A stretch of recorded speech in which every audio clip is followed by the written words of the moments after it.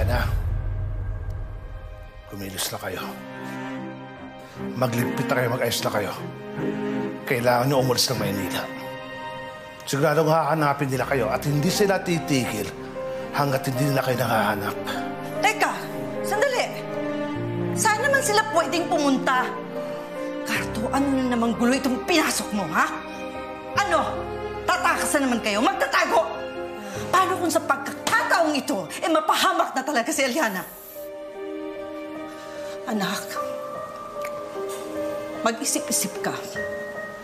Mas magiging ligtas kayo kung hindi kayo sasama sa kanya!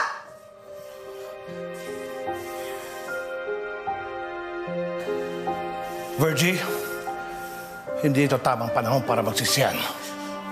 Aliana, kung kayo sa Batangas, sa dati nating tinitiran, sa mga tiyahin mo, mas ligtas kayo ron.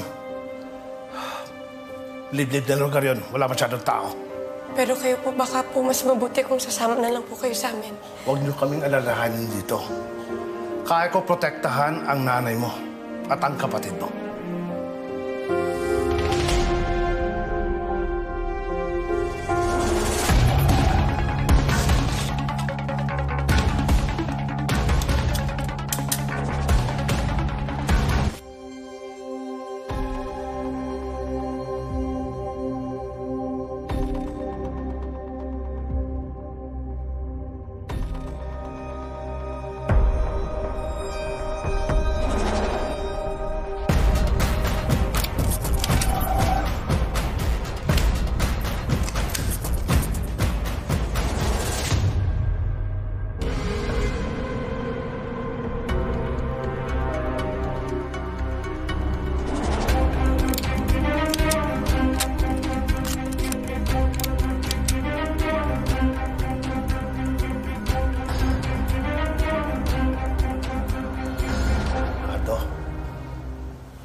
Pinapangako ko sa'yo.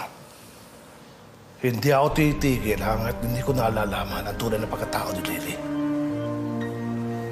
Magtutulungan kami ni General Oligario. Salamat, Tutay. Tama si Mang Teddy, Cardo. Kaming bahala dito. Pero General, paano po kayo? Saan kayo may titira? Huwag kong alalahanin. Dito na muna si General Oligario. Po. Paano po ako? Bubbles, sumama ka lang sa amin. So ako, pwede na ba ako umalis?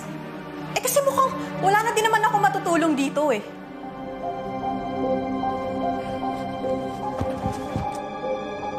Clarice, hindi ka maaaring umalis. Bakit? Eh di ba kanina pinagtatabuyan mo ako? Tapos ngayon pipigilan mo ako. Cardo, bakit di mo lang siya hayaan umalis? Hindi pwede, Eliana.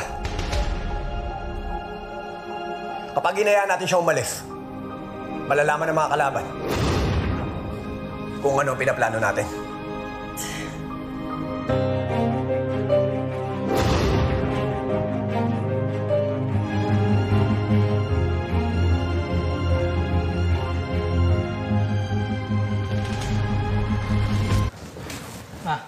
Tay.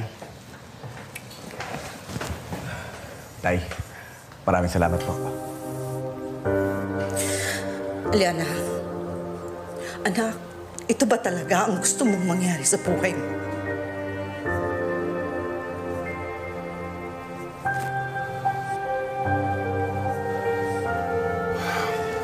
Nay, tutuloy na po kami. Mag-ingat kayo.